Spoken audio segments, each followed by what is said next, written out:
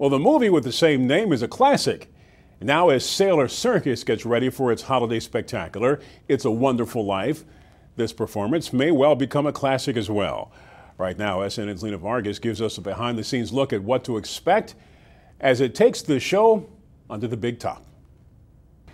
Lindsey Johns is an aerialist for Sailor Circus. That means she performs high in the air, showcasing her grace and athleticism. Always, next question is when you tell them that you're in circus, is that they're always like, "Oh, well, what did you do?" And I mean, I do cradle. What, what is cradle? And then you have to explain it. Lindsey is only one of more than 100 teens and children who will perform in this year's holiday spectacular. And it takes a special creative mind to make sure the show goes on without a hitch. When you watch these young folks fly, literally fly for the first time, and you see on their face, feel from their heart that they've accomplished that goal, that's magic. Steve Smith has been in showbiz and the circus industry for more than 40 years. That includes work as a clown for Ringling Brothers and as the creative director of this show titled It's a Wonderful Life. It just uh, represents the, the joy of the season and the, the spirit of the season. And it's not just about the performances. A lot of care has gone into holiday decor like these giant snowflakes. I just can't believe it. Um, all the snowflakes. I mean, I'm looking around right now.